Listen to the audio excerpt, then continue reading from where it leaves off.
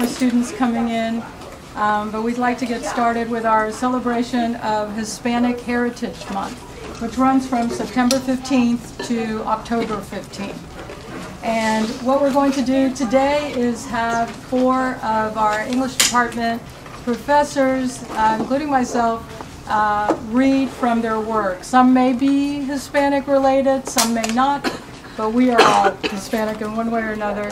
Um, and so this is what we're doing to celebrate. Um, I'm going to go ahead and read a small biography of each reader that you're going to hear today. Um, and uh, I think I'll go ahead and read them in the order that they're going to be, uh, we are going to be reading. Um, and then uh, I'll give you a little information about uh, how to find uh, more of our work if you're interested. So our first reader today is going to be uh, Professor uh, Lourdes Rodriguez Florido. And uh, she has published two novels called A Whisper of Angels, which is a fantasy romance novel, and also White Trees, which is a young adult novel.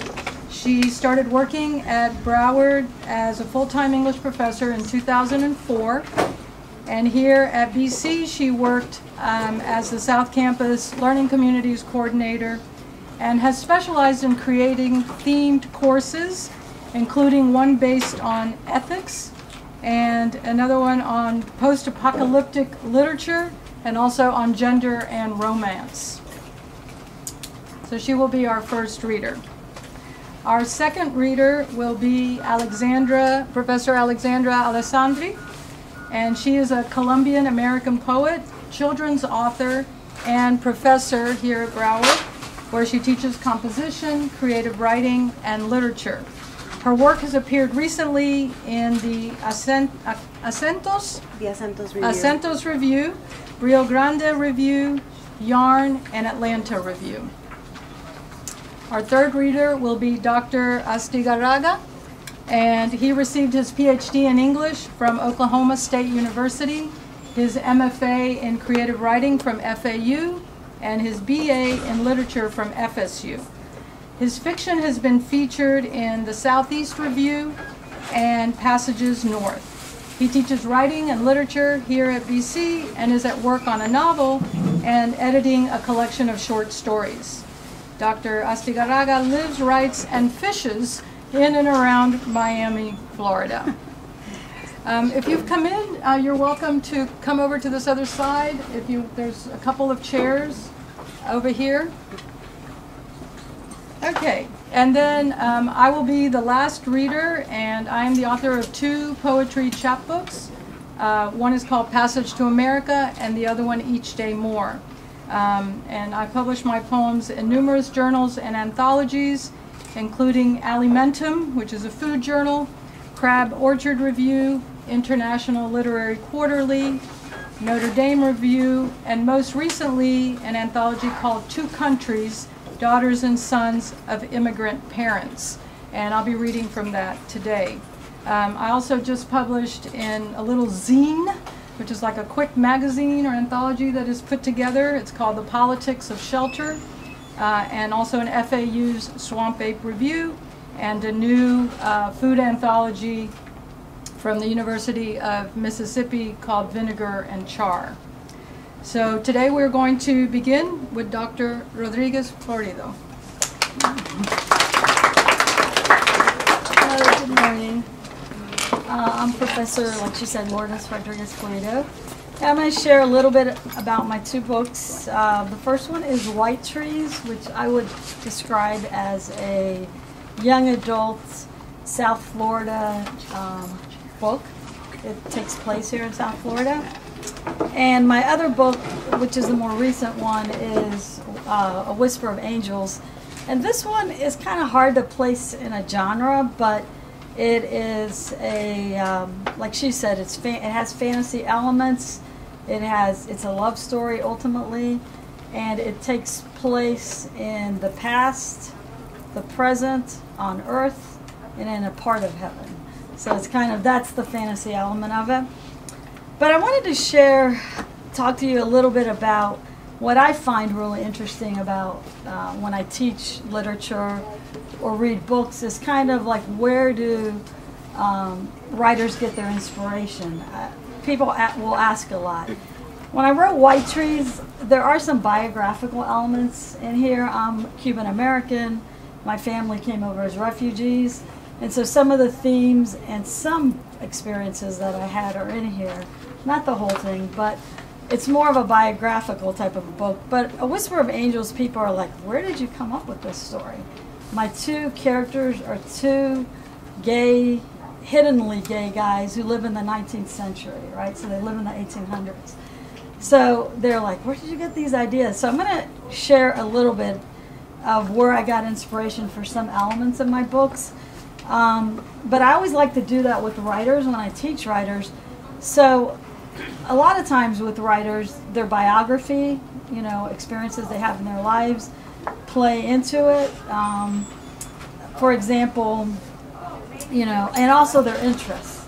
So I like to, to bring up a couple writers that I teach. For example, Mary Shelley, who wrote Frankenstein, she, um, all her children but one died, you know, in infancy and so she writes this story, right, Frankenstein, which is about this scientist, Dr. Frankenstein, who's searching to bring life out of death. And so you can kind of see why she was interested in that theme in a personal way. Um, that's a good example. Another example is like Jane Austen. She writes like uh, very popular 18th century, 19th century love stories. And all of her major novels have like dance uh, scenes in them, ball scenes, and she loved to dance. So that's an example of how writers put their interests and their life experiences in, into their books. So I'm, I'm going to, like I said, point out a few things in my books that are kind of um, biographical or things that I have interest in. Um, so the first one, I'll start with this because it's Hispanic Heritage Month, and this is really my sort of my Hispanic themed novel. But one of my chapters is called Homecoming, and you know, if any any of you have come from other countries or your families have come from other countries, you realize how there's always that want, especially if you came, you know, fleeing something, to go back home. So I kind of grew up in a household where that was just kind of tangible, whether it was spoken or not, that, you know, we had left the country that my parents wanted to still be at. I came very young, so I for me, maybe it wasn't as much, but for my parents, definitely. So I have a, a, a part in my book where the main character, Miranda, she's a, a, a teenage girl. Her grandfather has Alzheimer's, and as part of his Alzheimer's, he's always kind of living in the past, in the past in Cuba, and he's always wanting to go home. So I'm just going to read a short part of this. It said, uh, just to set it up a little bit, in the book, she goes out with the grandfather to um, on a sailboat on a day when he's better. If any of you have had family members with Alzheimer's, they have good days and they have really bad days. So she takes him out on a boat, uh, a sailboat, just you know, there in the bay or whatever, with um, other family members.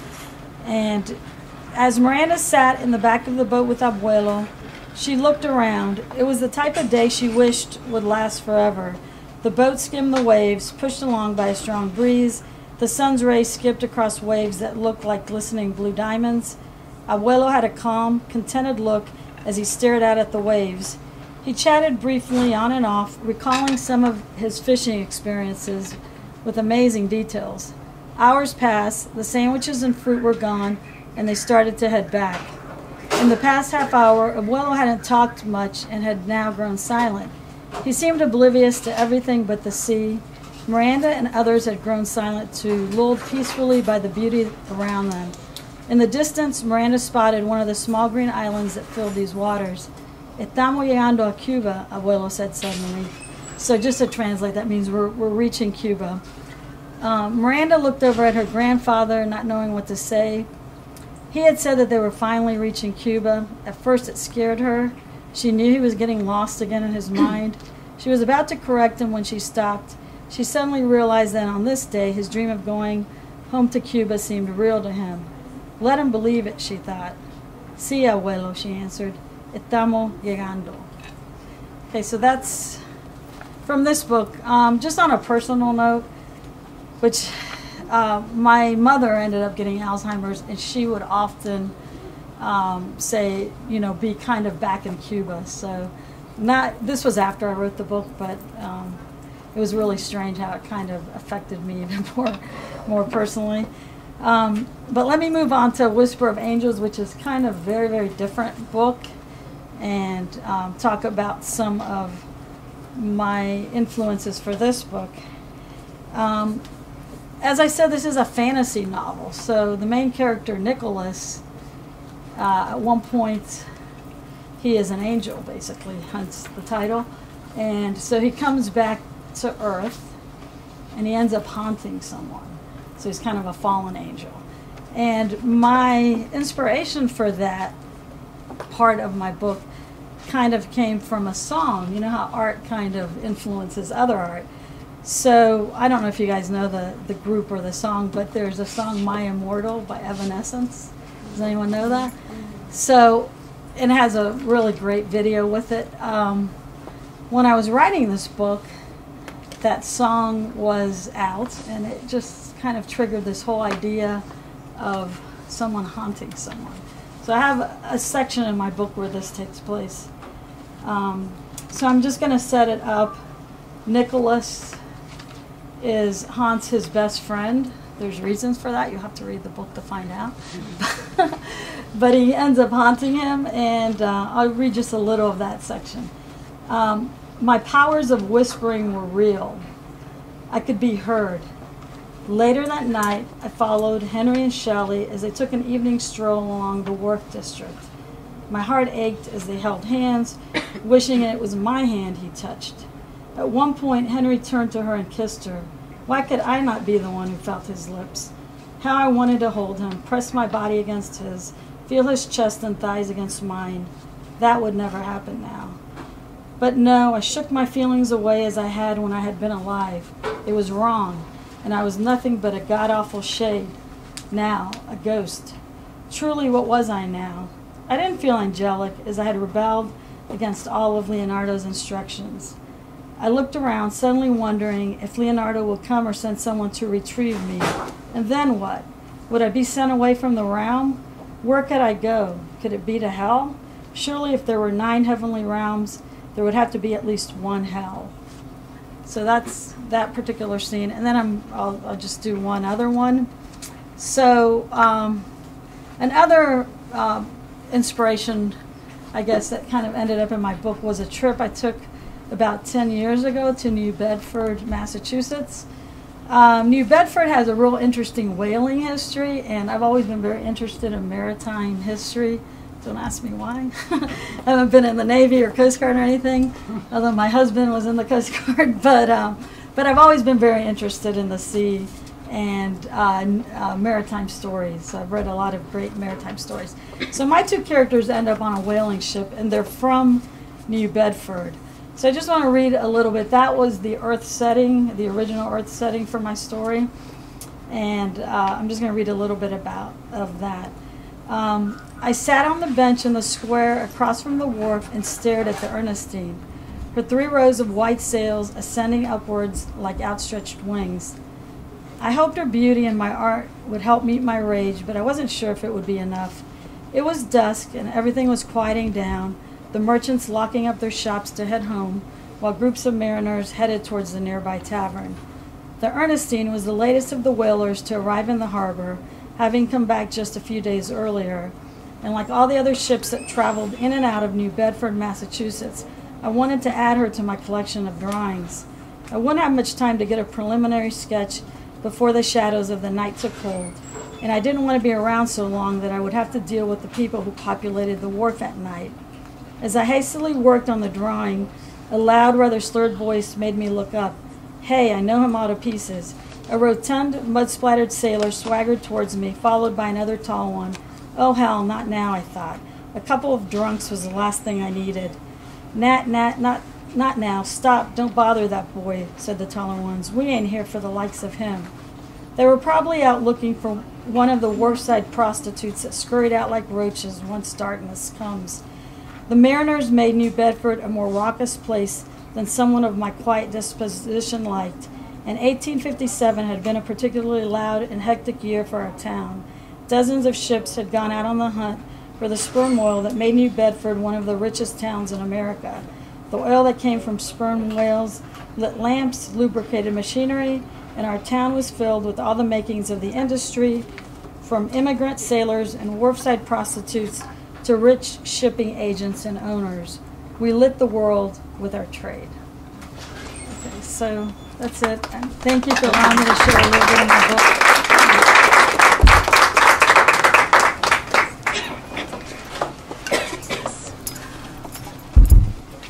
Good morning. Good morning. So I am Alexandra Alessandri, and um, as uh, Elisa um, noted, I am Colombian American, and a lot of my writing um, explores identity. Um, as anyone who is, uh, just by show of hand, how many of you are hyphenated Americans? You're either immigrants or came from it, you know, parents were immigrants, grandparents were immigrants there is a certain experience that comes in trying to bridge the two cultures and trying to grow up American, but also embracing your parents or your grandparents' home country.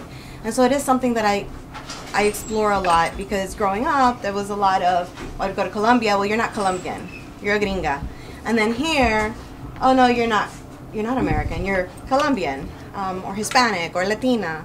Um, so I do a lot of exploring of that. I also explore a lot of um, family issues. Um, I had an interesting relationship with my father, and when he passed, um, a lot of that came out into words. Um, and so, uh, some of the stuff that I'm going to read to you is going to fall under those two, um, those two themes, and I'll talk about the other one in a little bit. Um, this poem came out in um, the Poetry Journal of Atlanta Review. It was a finalist in their international uh, poetry contest. It's one that I'm actually really proud of. Inheritance. The crucifix sits and fits inside my palm, cool pewter against my cracked skin. Christ, with his outstretched arms, looks on imploringly. It was my father's, given to him by his mother, a gift. I imagine her whispering, Well done, mijo, a priest in the family to guide us into promised lands. When I was young, Papi told stories of his seven year old self playing priest, offering a communion of banana slippers with El Padre, El Hijo, y El Espíritu Santo to a parish of his cousins. A calling, perhaps, and yet decades later he would cast it aside like the sotana crumpled on sacred ground. Why'd you leave, Papi? I often asked, my questions settling around his wheelchair into puddles of undisturbed dust. Porque sí, he'd answer. The past is the past, and not worth unearthing once it's laid to rest. When he passed, I plucked the pewter crucifix from his room, barren except for the lingering scent of Winston cigarrillos. I claimed my inheritance, as if somehow a new home would dislodge the mysteries of seminary school and perturb priesthood. But Christ remained silent, arms outstretched and cool against my cracked skin. This next one um, was published in the Rio Grande Review.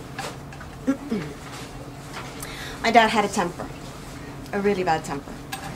And so this is um, one, and it, my pieces tend to be autobiographical. Viejo fight. Viejo means old, like old man. You stand red faced, fists clenched, on the simmering asphalt parking lot beside our two door metallic blue Mazda, which you bought for mommy the year before, surprising us all, surprising all of us, because you didn't believe in buying anything new.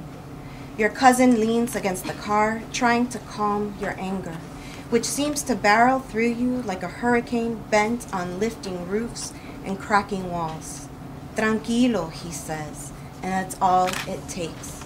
Carajo, puta, mierda, you yelled before shoving him against the car. Mommy and I huddle in front of Eckerd Drugs. Mommy clutches her purse with the dread of what'll happen when we get back home. Shattered glass, broken tables, perhaps bleeding knuckles. I glare at you, then at gawkers who've joined us, like high schoolers chanting, fight, fight, fight. Hate sticks to me like the Miami humidity as the words viejo fight get caught in the neon. Um, I'm gonna shift a little bit um, from somewhat, from definitely autobiographical to somewhat autobiographical, and these are forthcoming in a literary magazine that's for young adults. Now I write for children, um, including young adults, and these kind of fit into that thematically for young adults. But again, a lot of my identity gets um, into that. Doing high school when you're a señorita. When you're a señorita, your dreams are cracked open like granadillas, wet seeds spilling from parted lips, scattered, lost, folding within the limits your parents place because you're not like the others who collect sleepovers like seashells. You have a perfectly functioning bed, your parents say. Why would you want to sleep somewhere else? And I see a couple chuckles in there. when you're a señorita, complaints are a currency reserved for the brave. You're restricted to si señor, si señora, and God forbid you speak the way your peers do. Your parents will slap the sass so fast from your mouth. Cuidado, they say, eyes ablaze. Señoritas don't complain, don't disdain. Keep it up, ya verás. When you're a señorita, boyfriends are a language your tongue doesn't recognize, even if the boy three rows down in English class is someone you wish you could know better. ¿Qué, es eso de novio? They say. Una señorita doesn't flaunt her body. She knows it'll attract sinvergüenzas. When you're a señorita, leaving home for college is a dream that tastes like summer ripened mangoes, like guavas freshly picked from trees. But when you tell your parents this, they cross themselves, throw their hands in the air, lament where they went wrong. Don't even think about it, they say. Señoritas don't leave home before they're married. True story, my mom said that to me. so when you're a señorita in high school, you hide makeup in book bags, hold hands in the hallway with a boy who'll never meet your parents. You talk loud, laugh louder still. Sorry, laugh louder, dream even louder still. You sway your hips as you walk, shoulders squared, chin high, eyes swallowing shadows. Your parents aren't there to stop you, so you collect your dreams like spilled seeds until the moment you can scatter them free.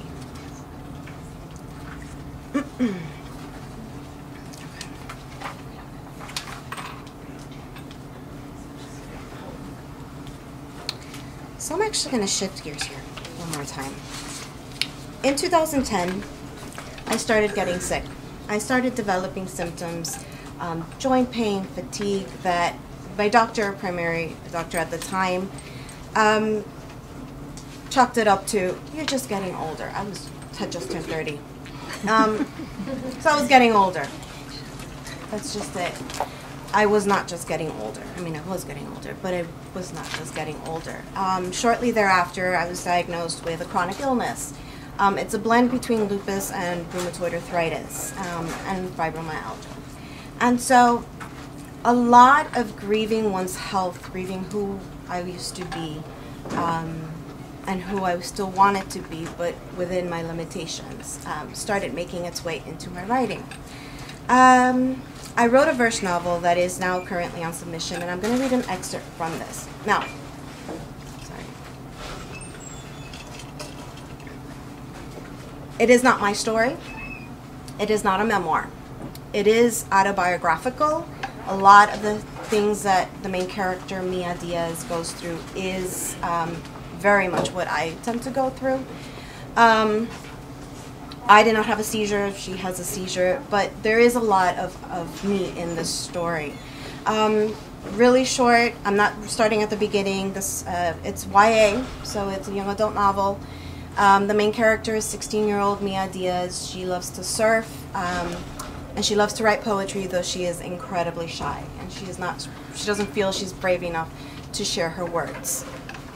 Um, This is going to pick up in the moment where she is in class and she is forced to read um, a poem that she wrote for her creative writing class.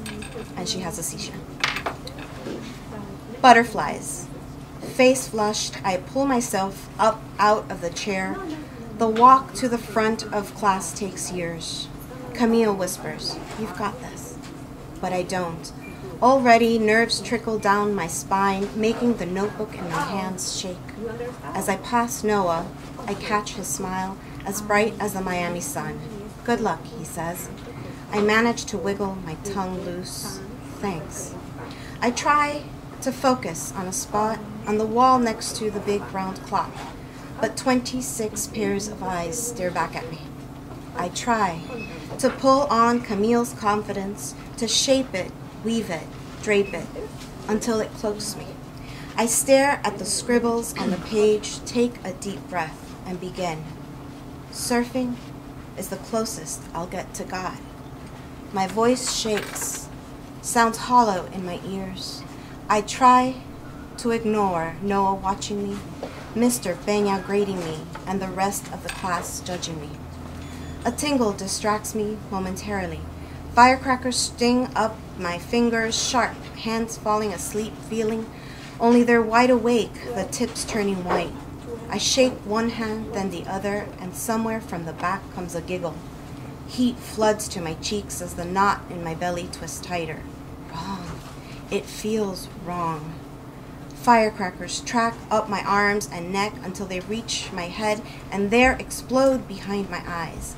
Sunset orange zigzags, black and white polka dots, stars and fireflies.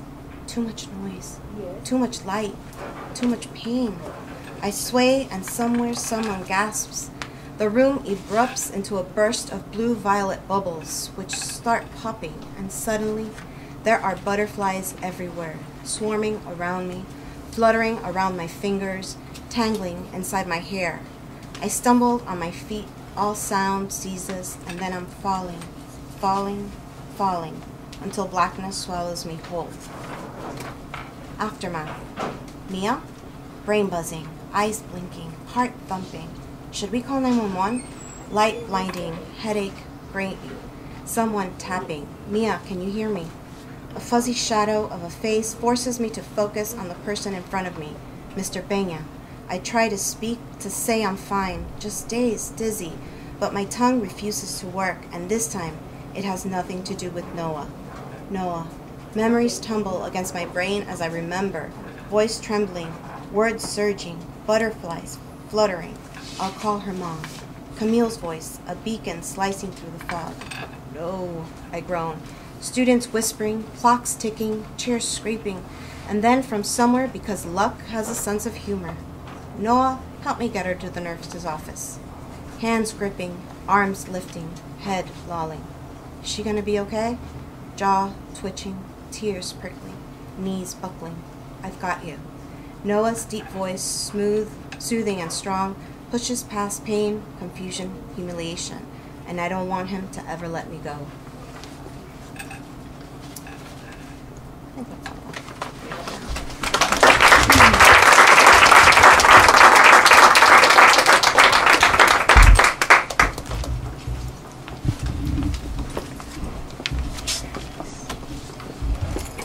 stable this is, so don't knock this over.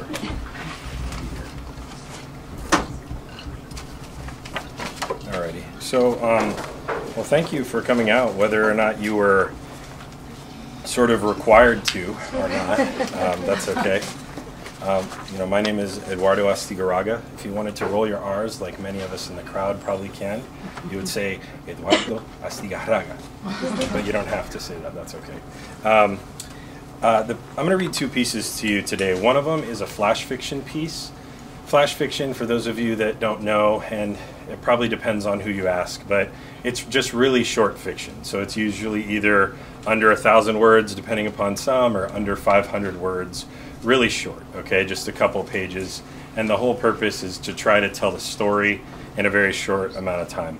And then the other story I'm going to read is uh, is a little bit longer but it's sort of the end of the story, and I'll set that up in a minute.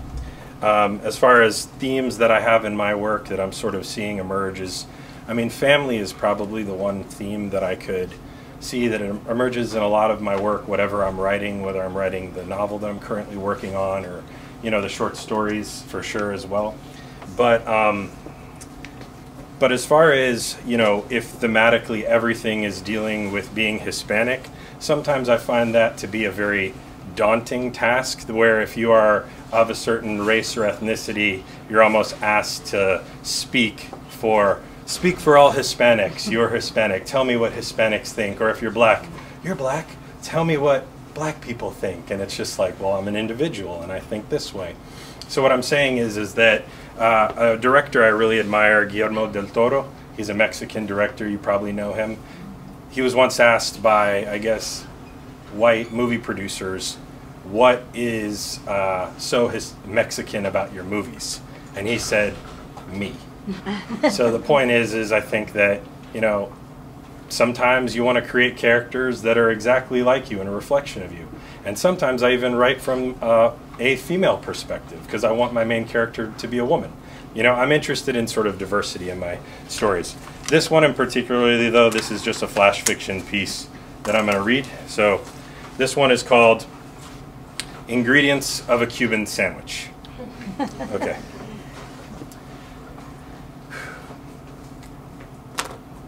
Carmen Rita tells you to finish off the frijoles and lechon. The pork is charred in just the right places, crispy at the ends like the chicharrones you snack on when arriving home from Gables High, and the onions are translucent and sweet from the olive oil she uses to fry them with. She's your mother's older sister, the one who raised mommy when Papo left, three years after Abuelita died.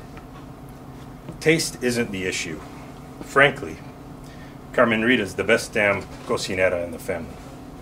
Tomato pickers surround her food truck on Monday to Saturday at 11 in the scorching afternoon, and she doesn't leave until every last one of her medianoches, Elena Ruses, or arroz con pollos is in the small intestines of every Central American, Mexican, and Cuban farm worker Homestead, Florida has to offer.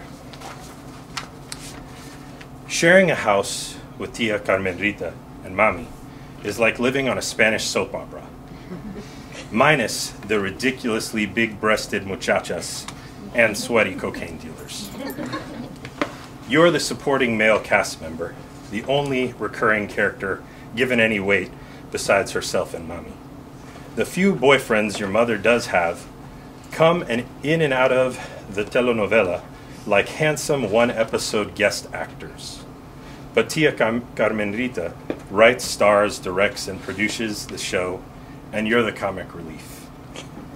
If you say you're not hungry, she'll tell your mother the same theory she has about every man on a diet. Elena, he refused to eat. He could be a little pato like Ricky Martin. It's not natural for a man to be that flaquito. Hips like a puta from the street. If you finish every last bite of her salty pork, creamy frijoles, and sweet plantains, she'll tell your mother what she always says when she watches you eat.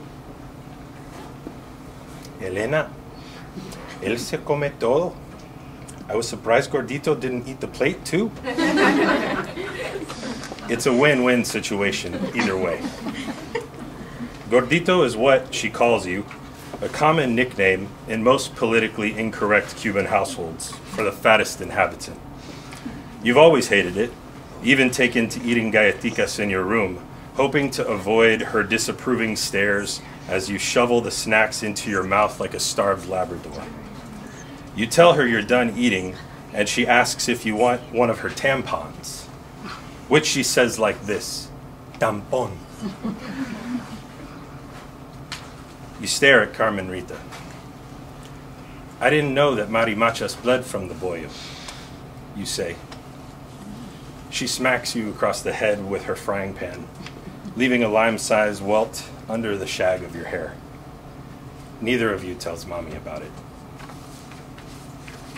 Years later, at your mother's funeral, you'll hold Carmen Rita in your arms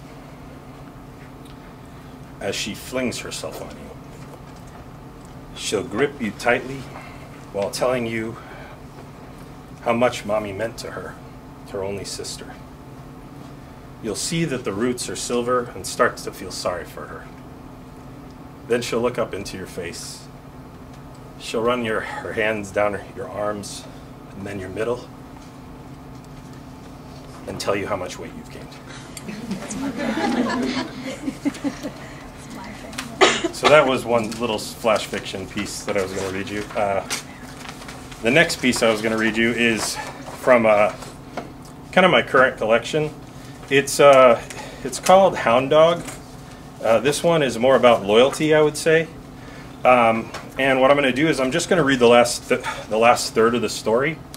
The last third of the story, I would say, is a little bit more. Um, well, I wanted you to get a kind of a sense of closure, and there's a lot more dialogue than there is in the beginning, so I liked that about it.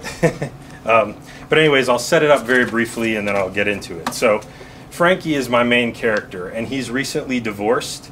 He's uh, six foot seven, a former basketball player, and uh, he his friend one day, Steven, comes to visit him. So Frankie works on a boat, and he proposes to Steven proposes to Frankie that he help him basically defend the honor of his wife. Because his wife was at a bar and this guy took uh, his wife's watch as well as grabbed her chest. Okay? Well, that's what Steven tells Frankie happened. Uh, the truth is, is that Steven and Emily, his wife, are now divorced, and Steven was just trying to steal his dog back from his wife, who is currently engaged to the owner of that bar. And Frankie doesn't know this. Now, Steven is the kind of friend, maybe you all have him, I know I had him in high school, who he just doesn't quite know how to be a friend. He's the kind of person who he's not, he's not really loyal. Um, he tries to buy people off, but he doesn't understand how to really establish a true lasting relationship. And even though he means well, he wants, he wants to have that friendship. Well, Frankie thinks that, you know, Steven's the only one who needs to sort of consider how he can be friends towards other people. But in reality, Frankie's not a great friend either. It's kind of like that story by Flannery O'Connor, you know, A Good Man is Hard to Find. If you haven't read it, you should. It's great. I think it's really applicable to a lot of things today. And the last line of the story is, or one of the last lines is, she could have been a good woman if there was somebody there to shoot her every day of her life. That's the, that's the last line and uh, you should read it if you get a chance because it's great. So in any event, it's about how people can sort of be judge, judge judgmental of other people and you know not take a look at their own themselves in the mirror. So basically, Ted, Emily's new, you know, betrothed, is now um, offering Frankie a job because he's a big guy, and Steven has stalked off because they didn't call the call the police. They were trying to be kind to Steven. So now Frankie and Emily, Steven's ex-wife, are sitting down to talk. And just so you know, Frankie and Emily had a thing in high school. They used to hook up, but, um, well, let's just say that Frankie believes that Steven doesn't know this. All right? All right, so I'll start there. This is Ted speaking, the owner of the bar. You're not going to regret it, son. That big boy you set on his ass when you got back Lulu for us, He's been here six years, and I've got him up to 1850 an hour. You play your cards right, the cards that I'm giving you, and you'll be taken care of, said Ted. I don't see how you're just going to pay this asshole. Not after he helped Steven take Lulu, Emily said. I'm sorry about that. But like I told you, I was just here for the money Steven promised me. And he didn't tell me anything about stealing your dog. He told me you we were we were coming up to rough up a regular, a guy who grabbed your your what whatever. It doesn't matter now. My what? She asked. It's not important. I was never going to rough up anybody. I'm not going to jail for him, I said. Emily, as you shouldn't, my friend. Life's about making smart choices that lead to better opportunities. You don't need someone like him holding you back. Ted's attention seemed to be on something behind me near the bar. Please excuse me, friend babe, Ted said, nodding to Emily. He got up and left us at the table with Ted Jr., the beer guzzler, and his two gossiping daughters. I turned around and saw that Ted seemed to be instructing a patchy, a bearded bartender onto how, um, sorry, onto how to properly pour from the tap. When I shifted back around, Emily was staring right at me. I raised my beer up towards her and downed half my glass. So, Ted seems like a decent fellow, I said. Emily just continued to stare at me.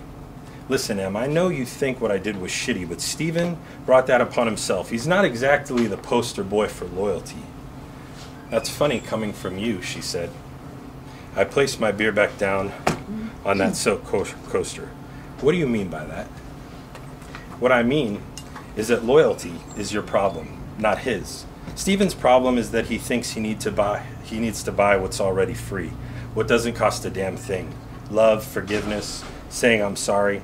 No, Stephen's approach is to buy you a damn necklace or labradoodle or chocolates in place of developing any sort of real relationship.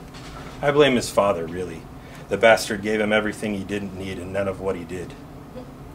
I'm not disloyal, Em. I'm just trying to be the best I can. And loyalty, I said, raising my glass and downing the rest of my beer. Hell, loyalty doesn't pay my rent. Loyalty doesn't pay alimony. Frankie's also recently divorced, by the way, and kind of still hung up on Emily. If that's the price of loyalty, then hell, loyalty can kiss my ass. Is that why your wife left you?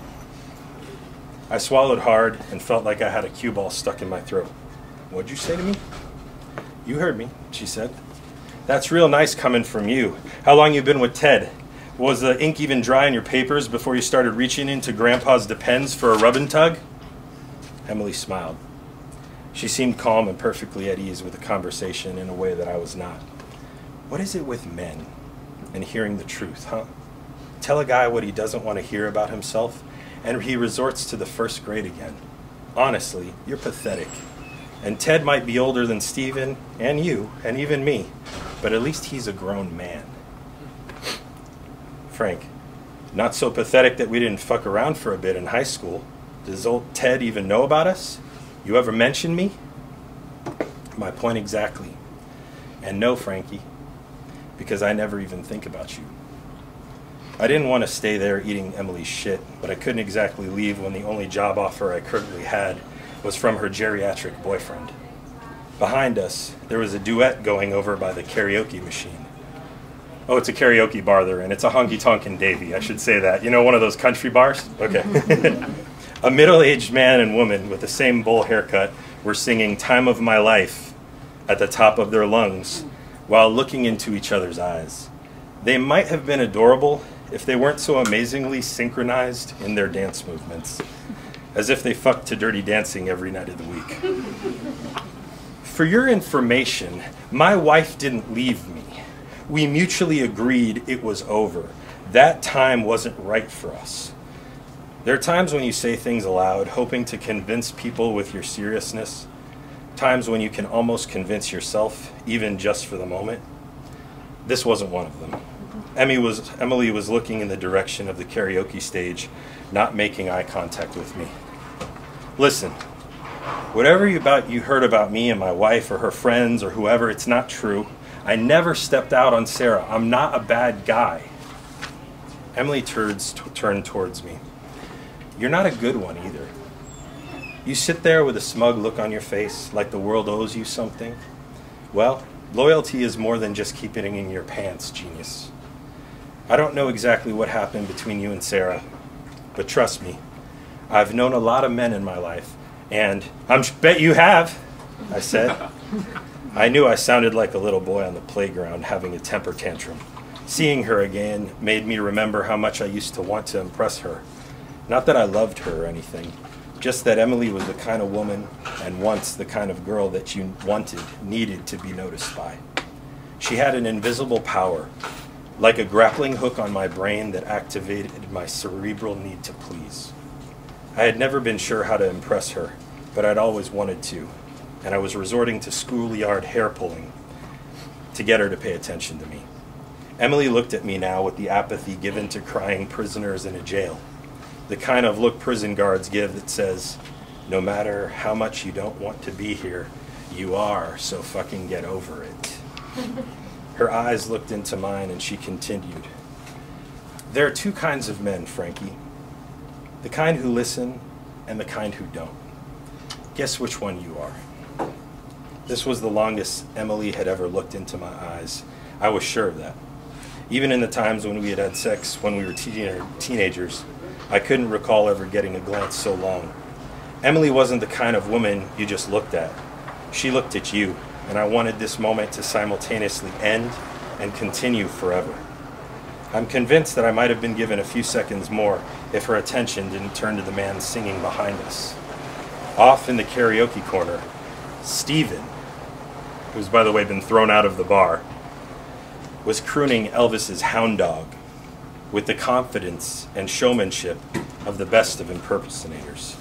His hip gyrating and foot shimmies displayed a quickness of foot that I hadn't seen, not once, not even when we were just kids, and our biggest worry was whether we'd take down our crosstown rival and be kings for just one more day. His voice crooned, and it was angry and beautiful and sad and hopeful all at once. I was embarrassed and proud at the same time. Well, they said you was high class. That was just a lie. Yeah, they said you was high class. That was just a lie. Well, you ain't never caught a rabbit and you ain't no friend of mine. Stephen sang. One hand had been on the mic and the other was messing with his hair. At the end of the stanza, he pointed towards our table, and I couldn't tell if he was pointing at Emily or me. Two of the security guards were rushing towards the stage, and they were flanking Ted like Dobermans on leashes.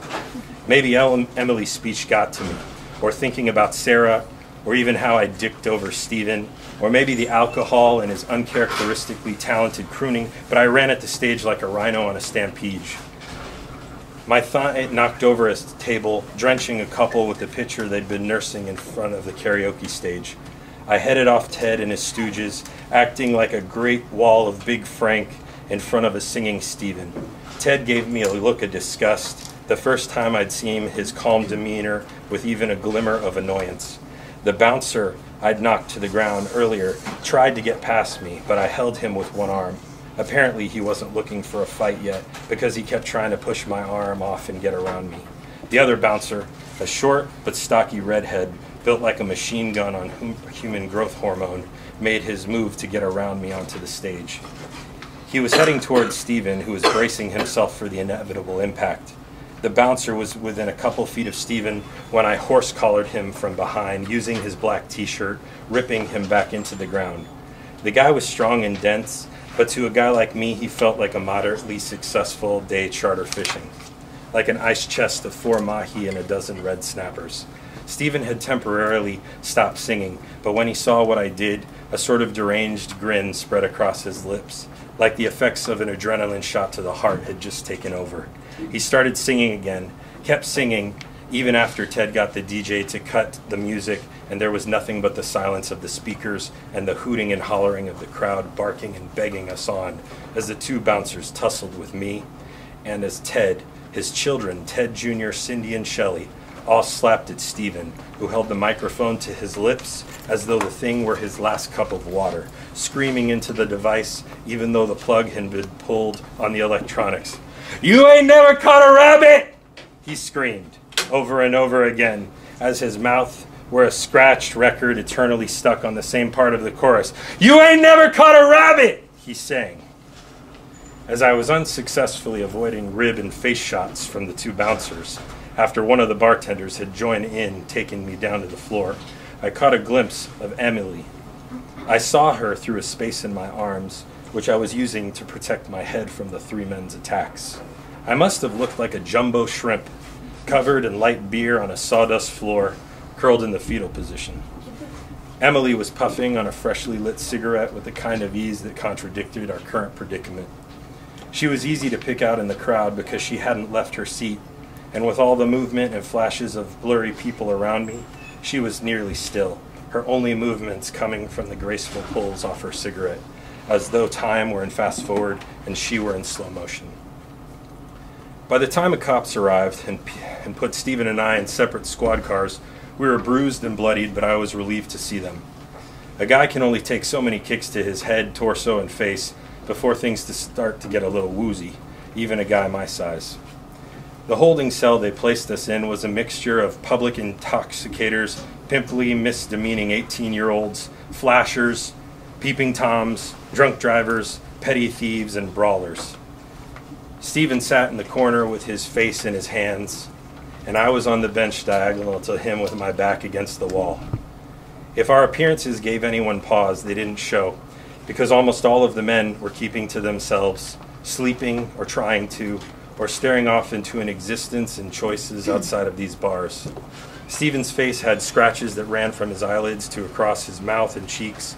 The blood on his face was dry, and he had a fat bottom lip the color of a plum. As far as I could tell, my face made out with just a cut near my earlobe, but my head, ribs, and legs felt like the running of the bulls had taken place over my body. An old man with long, stringy gray hair down to his mid back on the opposite side of the jail cell was standing and whispering to himself incoherently gibberish that sounded like Latin, except for the one word I could catch that made any sort of sense. You, a word he repeated every couple of sentences, a liturgy only he understood. I didn't know you could sing, I whispered to Stephen. He didn't look up to me, just shrugged his shoulders and continued to rest his hands in his face like an ostrich head buried in the sand. Look, man, I'm trying here. You set me up. Use me. And I did the same to you. Used you? I was going to pay you, he said. Stephen was sitting up now and his hands were clenching the bench on both sides of him. Well, you weren't exactly honest about your wife's situation, and I wasn't exactly honestly going to help you, not least the way you wanted. Yeah, well, that's a dick thing to do, he said. In my memory, this was the most aggressive I had ever heard Stephen be to someone he considered a friend. He was always so desperate to make people like him that he usually just bought them shit and took any ribbing from teammates or coaches because I think he didn't want to come across as offensive. Not if that meant losing people from the circle he was trying to buy. Yes, it was, but we're both in the can. We've bled together, man. I told myself I wasn't throwing down for no one, and look, here we are. The truth was, I wasn't even mad at Stephen. Sure, I was jobless and in jail. And later, my PD would get the charges down to drunk and disorderly because Ted, Ted wound up being so cooperative. Fucking Ted with his too agreeable personality. No, I felt like everything in my life leading up to this moment. One sad moment in a jail cell with a man I hardly knew and never really did. And not Sarah or Emily or Stephen were to blame. The highlight of my entire career had been a two year marriage, a junior college basketball career, and that one time I almost reeled in a world record cobia when I was 16. My father told me to keep the line tight, and I did until the copper colored monster was in 10 feet of the boat and I gave her slack because, well, I just got tired and thought I'd given her enough of a run. The cobia took this as an advantage and headed back out into the depths of the big blue, and I reeled in an empty fishing hook. A once in a lifetime fish gone. My father looked at the empty line, the gaff in his hand, and said, Damn it, that's why you keep the line tight, boy. Too much slack, they're liable to take your bait. This is uh, just the last little bit right here. Um, you ever think that no matter how hard you tried, just still might not be enough? said Stephen. I could tell by the slurring of his words that Stephen was still a little drunk, but maybe not as drunk as I would have hoped, considering the tire on his mouth was impacting his speech. Of course, Stephen. Where in the hell did you ever get the idea that you, if you tried hard enough, it would all work out? I wasn't in the mood for a pity party. Stephen shook his head. It's just when Coach used to tell us dig deep and want it more than the next guy, I guess I always kind of bought into that being true, at least hoped for it. That if I gave enough, it would be enough. That's just shit you believe when you're 18, when you have a hard on for days, and the main objective of every day is to get your dick wet because you're going pro one day and starting a business that will make you millions, and life is full of possibilities, I said. Stephen looked at me, and his chest started to convulse. He looked like he was going to vomit. He put his head in his hands and I could hear the low wheezing breath of what sounded like a restrained sob, and I felt like shit, even if I did believe every word I told him. You know, um, you really can sing. I can't believe I didn't know that about you.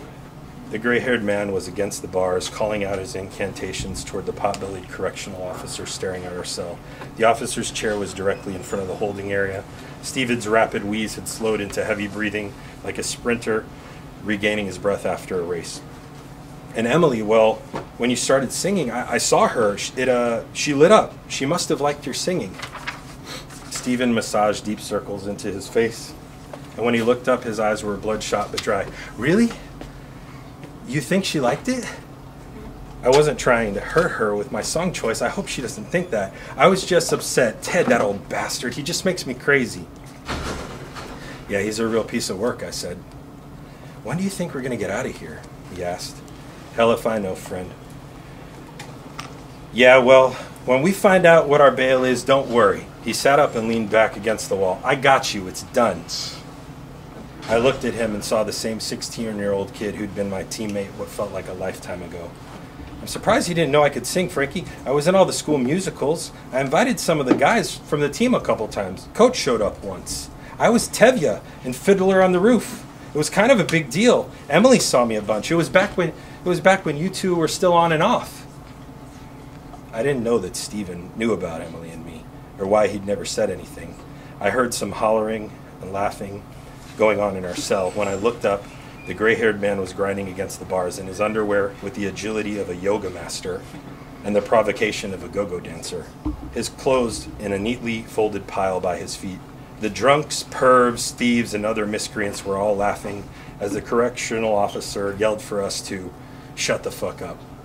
The man kept dancing as if no one could hear him, periodically licking the bars of the cell and spewing his gibberish as the correctional officer banged his club near the man's face. But the old man continued unflinching. Last part. What a fucking loser, a drunk towards the end of the cell yelled. But the gray haired man wasn't deterred and he kept gyrating. I glanced down and cut my hands, my knuckles bruised and red from scraping on the wooden floor of the bar. I thought of my ex wife, Sarah, and wondered if her new guy was treating her any better than I did, and sort of hoping that he was and wasn't. I thought of Emily, slowly taking drags off her cigarette and staring at a future she wouldn't find too surprising.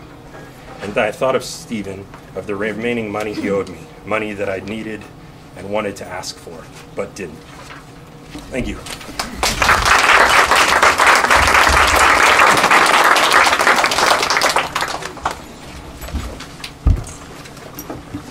Thank you, Ed. Wow, I want to read that whole story.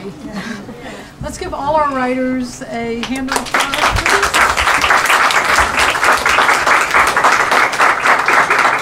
Okay, I'm going to finish up with uh, just a few poems, and um, and then I don't know if we'll have time for questions, but we will be hanging around, uh, and you're welcome to ask us any questions. And also, I wanted to let you know that uh, if you're interested in seeing more of our work or some of our books, um, there are links on all our BC social media, um, so you can find us there. I'm going to uh, begin with a poem uh, that was published uh, in an anthology that is uh, very apropos to Hispanic Heritage Month. It's called Two Countries U.S. Daughters and Sons of Immigrant Parents. And I have a couple of poems in here, but I'm just going to read one. Um, this one is called Exile. She knows she can never return. The hole in the heart muscle releases a long plaintive note, but the mind, like water seeking its level, rushes in to fill the rent, to soften and mute strings attached to the protected childhood. Green plantains frying at noon, slow fans overhead urging Caribbean breezes through the many windows of home. Gone, lost, even their shadows, except in the stomach and on skin, they too have memory, have learned to take in alien nourishment, reconfigure weather patterns. In the new country, each move to a new house, each first night in a strange hotel repeats the exile sine qua non. Adapt and settle quickly. Fill drawers, arrange toiletries, place pictures, flood the streets the feet will know, and swim. The palm fronds overhead are clapping, and the strokes, they too will become familiar. So, um, I write a lot about um, images, images I see, I hear, I read about, and that's what inspires me. And I also have similar themes of home and family. And uh, this next poem is a more recent poem because that poem was about being in exile, not being, you know, being away from home. But um, I actually, uh, I'm Cuban, Cuban American, and I got to return to Cuba about a year and a half ago. And this is the first poem I finally wrote um, based on that experience. I had written a little bit, but um, uh, but this one is sort of the first real one that's coming out, and it has a little epigraph uh, by Thomas Wolfe. Some of you may have heard uh, his saying or the name of his book that says, "You can't go home again." And it turns out that he got that line from a conversation that he was having with another writer uh, who asked him, uh, Don't you know you can't go home again? You know, that you can really never go home. So this one right now is just called Home. They say you can't go home again, but if you try, you'll need a taxi driver like Rafael Martin Martin, who was lounging behind Casa de las Americas smoking a cigarette when he saw me pacing the sidewalk, determined not to use a legal but rude taxi driver from the stand at the Hotel Presidente next to my casa particular apartment in El Vedado in Havana, and offered to drive me to my first home in Miramar.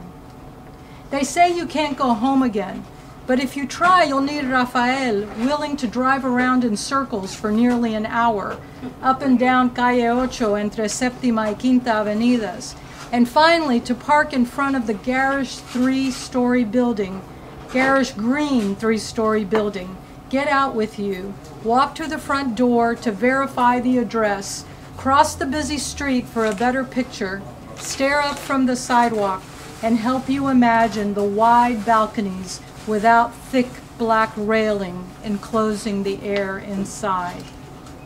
Is that where your nanny stood with your year old self in her arms, wailing to your mother below that the authorities had sealed the house shut, barred her from entering her own home after my father had just fled the country to avoid imprisonment? Is this where my mother stood on this sidewalk looking up at one child, another sleeping inside, her husband flying to the U.S., her plans to follow him uncertain. They say you can't go home again. You won't even knock on the door. No one will come to the window. Your mother will stare at the pictures you took with Rafael. She'll study them 55 years after she locked the door to her first married apartment for the last time and say, No, that's not it. I don't recognize it. You can't go home. You can return to the country of your birth for the first time since you left as a baby. Go there when your mother, who carried you out, is not keen, to say the least, on your returning, on you seeing the island you once lived on but have never known, the island that scattered her family for the rest of their lives and buried them on three different continents. You'll return to the look on her face the do whatever you want, but I don't like it and will not say another word about it face. That one, for which all were practice. And you were right, Mommy. Cuba is beautiful, vibrant, sad. You can't. Nothing there. You and Papi made the home. You were the home. And uh, read a little short poem. Um. Yeah, it's called Never Finished, um, and I was listening to um, a story on NPR where I get a lot of uh, inspiration because they're so imagistic in their stories. Um, this woman who invented a gene editing technology, some of you may have heard of, called CRISPR. So she was talking about this. And there's also the writing process in here, so some of you will be able to relate to this. It's a short little poem. It's called Never Finished. We're always editing, revising, proofreading, fixing ourselves, making adjustments and plans, using scrubs and juicers. Start over, begin anew, a second act, a 2.0. It's Monday, the new year, your birthday. Convert. Let's renew our vows. Have a garage sale. Sell it all and go on the road. Cash out. Take it from a scientist. DNA repair happens all the time, or we wouldn't exist. We're wired that way.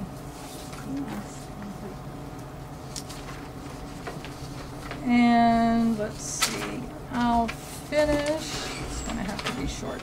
Okay, it's not so short, but I'll finish with um, another, uh, with a food poem. We've heard food, you can't be Hispanic without food, you know, food. Um, and you'll hear some of the same things in here, but I also just wanted to finish on this lighter note. Um, this is called tortilla española. Are any of you familiar with tortilla española? It's like the Spanish om- uh, omelet. So, tortilla española. My grandmother made it, my mother. My childless, my childless aunt made the best one. Her evenly diced potatoes, olive oil fried to luscious softness. The edge of salt, semi-setness of egg, dissolved essence of one barely minced onion teased our palates when we smelled the thick omelet Spaniards make daily cooking. As kids, we knew it was coming when mounds of potatoes, brown skins darkened by rinsing, appeared on the kitchen table. When women sat, peeling pounds with small paring knives, dropping each one into a bowl of water to keep it from graying. Then came the flamenco stomp of heels on wood, chop and dice, chop and dice, the heat of frying and browning, of sizzling, turning out the tender mass potato, the tender potato mass into a metal colander in the sink, a bowl beneath to catch oil not absorbed, and again into a separate bowl of half a dozen scrambled eggs, folding the potatoes into the frothy egg, pouring it all into a heavy, heated, and oiled pan, patting it even and flat. In minutes came the acrobatic lifting and quick flipping the wrist bending pan onto a large plate, sliding the still egg wet on top, now on the bottom tortilla, back in to cook the other side, to set, brown slightly without burning. If you smell egg burning, it's too late. You've ruined it. Though everyone will assure you it's fine, it's not. And if it hadn't been for wars and depressions, exiles and exits that made waste a taboo, our mothers and aunts would have ditched a burned tortilla. You'll burn several before you learn by smell exactly when to toss it onto a clean plate. Done, ready to slice.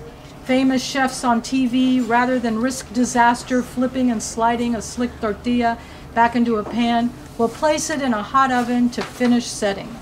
That's wrong.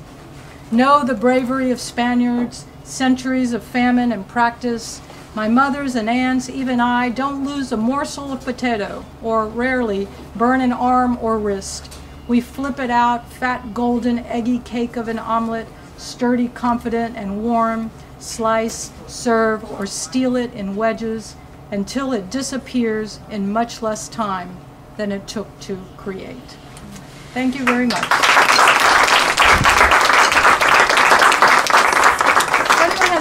questions. We'll be here for a couple minutes, and we're happy to answer your questions. Okay. Oh, thank you.